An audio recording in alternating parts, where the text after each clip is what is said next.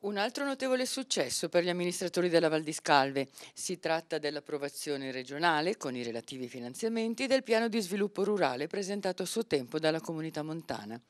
La Val di Scalve godrà così di cospicui finanziamenti da finalizzare ad una serie di iniziative economiche, sociali ed ambientali, come ci ha spiegato il presidente Franco Belinghieri. Abbiamo riunito privati, enti e associazioni in una prima fase abbiamo costruito un progetto di 6 milioni di euro finanziando una parte di agricoltura, una parte di ambiente e un'altra parte di turismo. Questo ci consente di avere la possibilità per i privati, per esempio che hanno le segherie, avranno degli interventi finanziati fino alla copertura del 40% a fondo perduto, so, per esempio l'acquisto di alcuni macchinari, eccetera. La cooperativa, la latteria montana, anche quella avrà modo di ristrutturarsi e acquisire alcune attrezzature, mentre per gli enti pubblici, per esempio, il recupero di alcune cascine, alcune strade silvopastorali e anche dal punto di vista sportivo una pista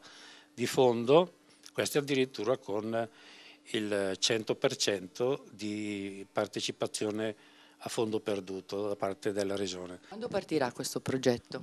Ma I bandi che riguardano l'agricoltura, due o tre misure, sono già fuori e entro 30 giorni dovremo presentare i progetti esecutivi. Gli altri invece abbiamo chiesto anche di ritardare un po' l'uscita del bando perché per esempio riferito ai pascoli, alle cascine sui nostri pascoli, abbiamo 4 metri di neve e non saremmo in grado di fare i, i rilievi per il, il, progetto, quindi probabilmente verranno fuori a, a febbraio-marzo.